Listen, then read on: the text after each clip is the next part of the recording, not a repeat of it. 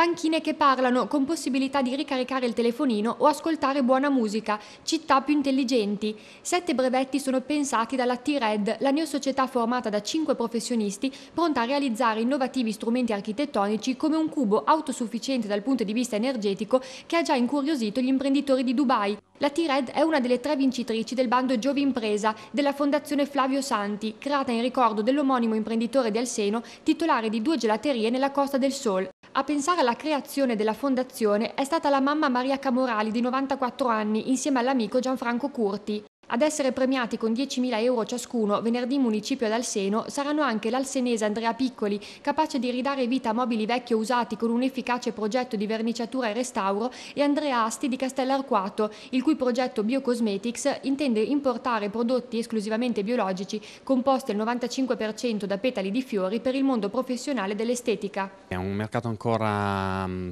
eh, diciamo, da sviluppare a pieno rispetto agli altri paesi europei dove sono hanno diciamo 10-15 anni eh, di esperienza in più, eh, però sicuramente nel futuro sarà una cosa su cui anche l'Italia diciamo che eh,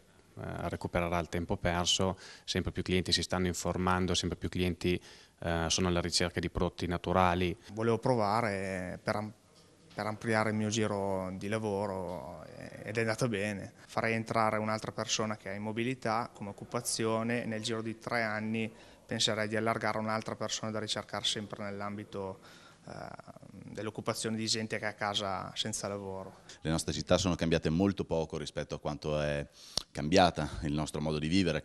a quanto la tecnologia ha mutato comunque i, le nostre abitudini, eh, pensiamo che un'integrazione fra il mondo della progettazione, il mondo della ricerca sperimentale, quello delle, degli istituti con cui ci interfacciamo tutti i giorni, dal CNR, RSE, il Centro di Ricerca sul Sistema Energetico, possa dare un aspetto nuovo alle città del futuro.